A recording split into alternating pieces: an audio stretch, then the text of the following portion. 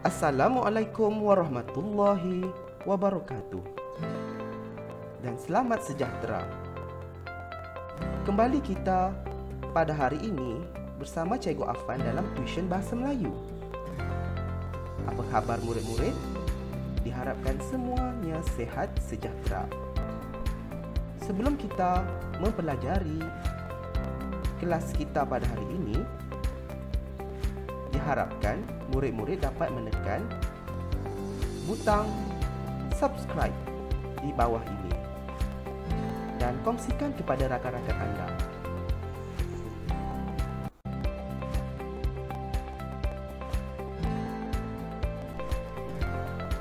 Berikut adalah biodata cikgu. Kamu boleh membacanya sendiri di sini.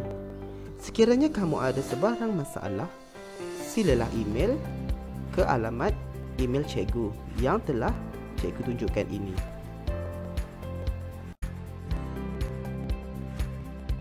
Pada hari ini, kita akan mempelajari jenis imbuhan sisipan. Oleh itu, cikgu harap murid-murid sudah bersedia untuk mengikuti pembelajaran pada hari ini.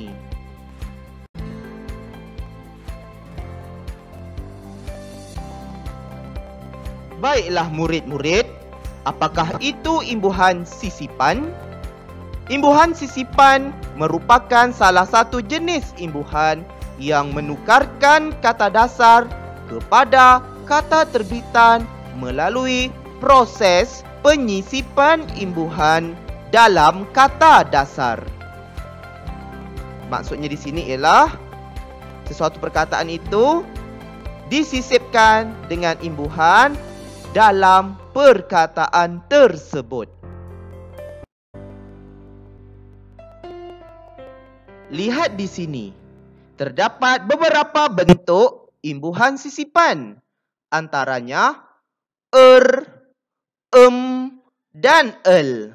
Cikgu harap kamu dapat mengenali bentuk-bentuk imbuhan sisipan dengan sebaiknya.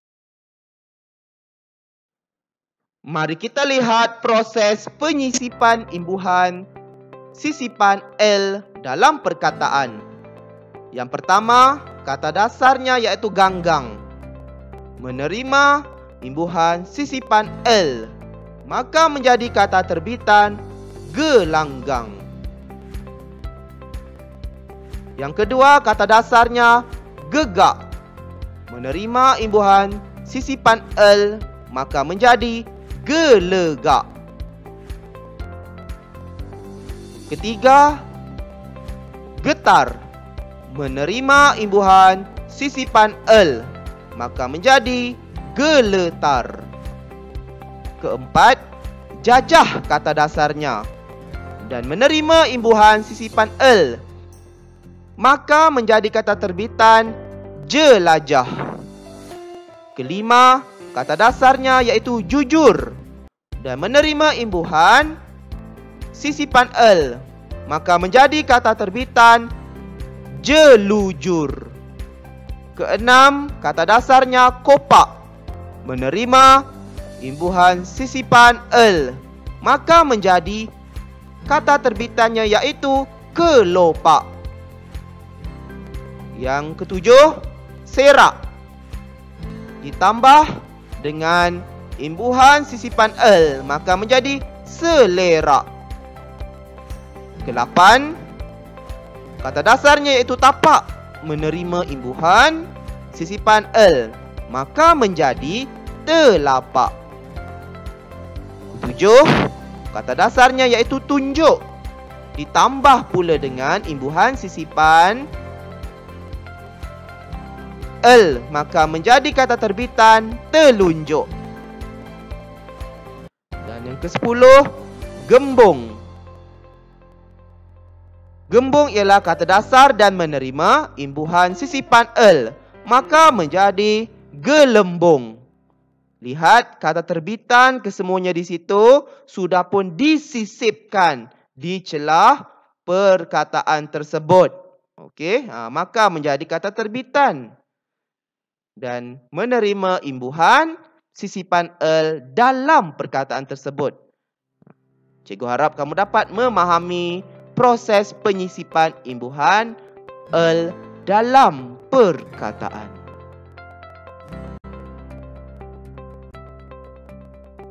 Sekarang, mari kita lihat contoh-contoh ayat yang menggunakan perkataan berimbuhan sisipan el. Yang pertama, gelanggang. Contoh ayat, Aiman bermain futsal di dalam gelanggang futsal. Kedua, gelegak. Contoh ayat, air di dalam cerik itu menjadi gelegak apabila dididihkan. Ketiga, geletar. Contoh ayat, Ali menjadi geletar setelah melihat lembaga yang menakutkannya. Keempat, jelajah.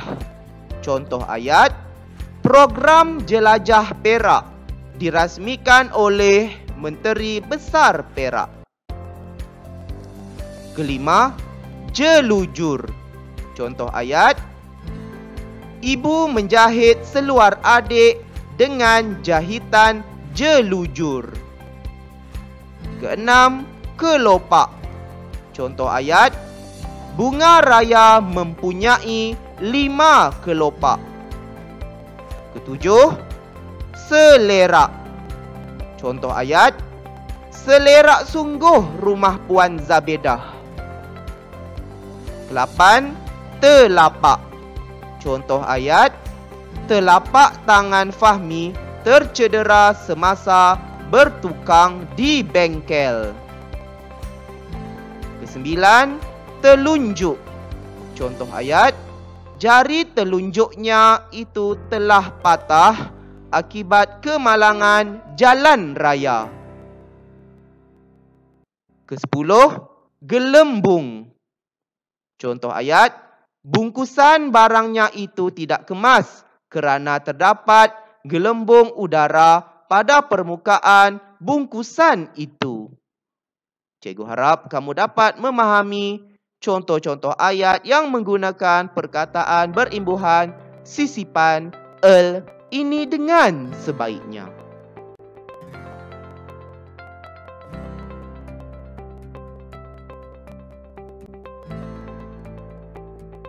Baiklah murid-murid, sekarang mari kita lihat proses penyisipan imbuhan er dalam perkataan. Kita lihat di situ yang pertama kata dasarnya iaitu cucuk. Cucuk ini dimasukkan ataupun disisipkan dengan imbuhan sisipan iaitu er. Maka menjadi kata terbitan cerucuk. Kedua, gigi. Gigi kata dasarnya dan menerima imbuhan sisipan er dalam perkataan itu maka menjadi kata terbitan gerigi. Yang ketiga, kata dasarnya iaitu suling dan menerima imbuhan sisipan er maka menjadi kata terbitan seruling. Keempat, kata dasarnya kuping ditambah dengan imbuhan sisipan er dalam perkataan itu maka menjadi kata terbitan keruping. Kelima, kata dasarnya iaitu sabut ditambah ataupun dimasukkan ataupun juga disisipkan dalam perkataan itu dengan imbuhan sisipan er maka menjadi kata terbitan serabut. Keenam, kata dasarnya godak disisipkan dengan imbuhan sisipan er maka menjadi kata terbitannya iaitu gerodak. Ketujuh, kata dasarnya iaitu kontang. Disisipkan dengan imbuhan sisipan iaitu er dan menjadi kata terbitannya kerontang. Kelapan, cacak kata dasarnya dan menerima imbuhan sisipan er maka menjadi kata terbitan ceracak. Lihat di situ. kata terbitan yang telah cikgu senarakan di situ sudah pun menerima imbuhan sisipan er dalam perkataan tersebut. Kerana imbuhan sisipan er ini sudah pun disisipkan dalam perkataan tersebut. Oleh itu, cikgu haraplah kamu dapat memahami proses penyisipan imbuhan sisipan er dalam perkataan.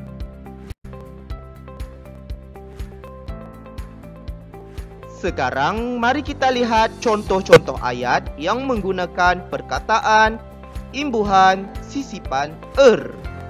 Lihat yang pertama, cerucuk. Contoh ayat, pekerja asing itu memasang cerucuk di kawasan pembinaan. Kedua, gerigi. Contoh ayat, kaki adik luka kerana terkena gerigi basikal. Ketiga, seruling. Contoh ayat, seruling itu ditiup oleh maznah. Keempat, keruping. Contoh ayat, pada tangan Kamil yang luka itu terdapat keruping. Kelima, serabut. Contoh ayat, fikirannya menjadi serabut setelah bercerai dengan suaminya. Keenam, gerodak. Contoh ayat, dia terdengar bunyi gerodak daripada almari besi itu. Ketujuh, kerontang. Contoh ayat, parit di tepi rumahnya menjadi kerontang kerana cuaca sangat panas. Dan yang kelapan, ceracak. Lumpur di kawasan paya bakau itu mempunyai ceracak yang boleh menyebabkan kaki kita terluka. Cikgu harap kamu dapat memahami penggunaan perkataan berimbuhan sisipan er dalam ayat dengan sebaiknya. Baiklah murid-murid, sekarang mari kita lihat proses penyisipan imbuhan sisipan em dalam perkataan. Kita lihat yang pertama kata dasarnya iaitu gilang. Gilang disisipkan dengan imbuhan em maka menjadi kata terbitannya iaitu gemilang. Kedua, kata dasarnya guruh disisipkan dengan imbuhan sisipan em maka menjadi kata terbitan gemuruh. Ketiga, ketot Ketot ialah kata dasarnya dan menerima imbuhan sisipan em maka menjadi kata terbitan ke metod. Keempat, kata dasarnya kuncup. Menerima imbuhan sisipan em maka menjadi kata terbitan kemuncup. Kelima, kata dasarnya iaitu serbak serba ini menerima imbuhan sisipan em maka menjadi kata terbitan semerbak. Keenam, kata dasarnya kuning. Disisipkan dengan imbuhan sisipan em maka menjadi kata terbitannya iaitu kemuning. Dan yang ketujuh, kata dasarnya tali. Tali disisipkan dengan imbuhan sisipan em maka menjadi kata terbitan temali. Oleh itu, cikgu haraplah para murid dapat memahami proses penyisipan imbuhan sisipan em dalam perkataan.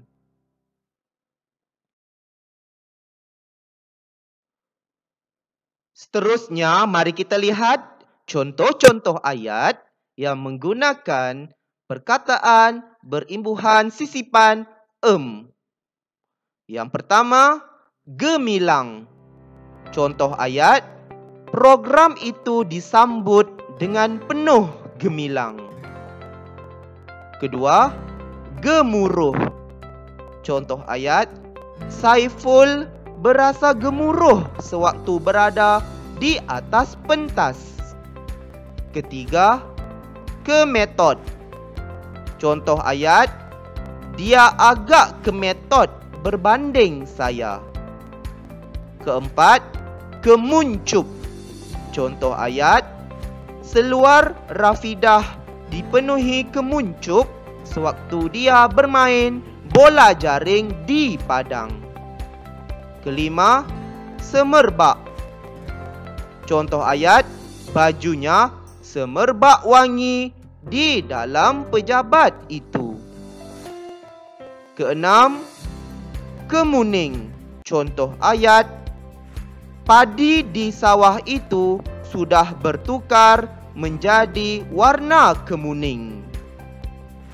Dan yang ketujuh, temali. Contoh ayatnya, kemahiran tali temali perlu dipelajari oleh ahli pengakap. Oleh itu, cikgu harap kamu dapat memahami penggunaan perkataan berimbuhan sisipan em dalam ayat dengan sebaiknya. Kini tiba masanya cikgu mahu menguji murid-murid untuk menjawab soalan berdasarkan pembelajaran pada hari ini mengenai imbuhan sisipan. Oleh itu, cikgu minta kalian untuk sisipkan imbuhan sisipan yang sesuai dalam perkataan di bawah ini. Maksudnya di sini, murid diminta untuk menulis semula perkataan dan perkataan itu mestilah mempunyai imbuhan sisipan. Selamat berjaya ya murid-murid.